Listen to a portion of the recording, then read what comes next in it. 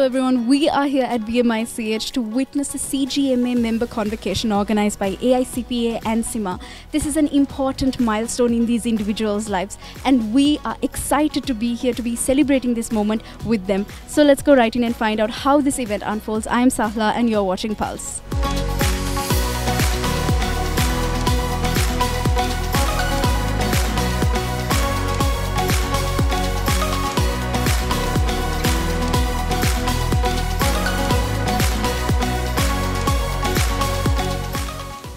Right now we have with us Ms. Zahara, who is the country manager of both AICPA and CIMA. Could you tell us a little bit about the event today that is taking place? So today is a recognition event for our CGMAs, Chartered Global Management Accountants. So we are recognizing 250 fellow and associate members of CIMA, and it's an exciting time because these are the ones who are going to go and move and shake the world of business. What does it mean to be a CGMA? So being a CGMA opens up a world of opportunities. You could get local and global employment, you could get recognition, you could also be amongst the volunteers who are shaping the finance profession. It's an exciting time to be part of the AICP and CIMA fraternity, and being a CGMA would mean you're part of that family.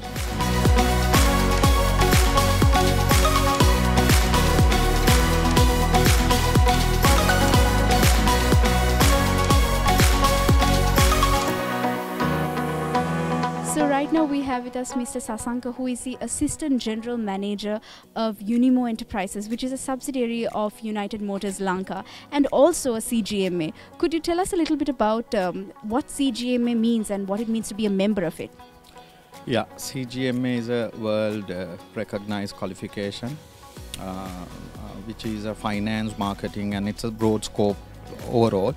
Uh, CGMA stands for uh, Chartered uh, Global Management Accountant, and AICPA plus CIMA got together, and it's a huge network now, almost 600,000 plus uh, memberships in the in worldwide, and uh, uh, across 173 uh, countries. So basically, I came into the CIMA journey through fast track.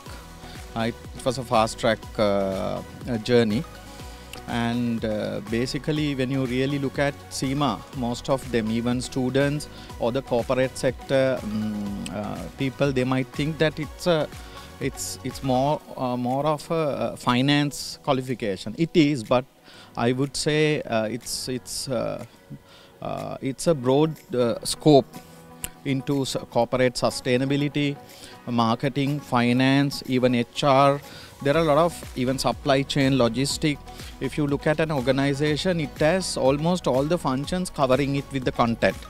So I believe uh, for a for a management strategist or a, a leader, uh, CIMA qualification would definitely add value.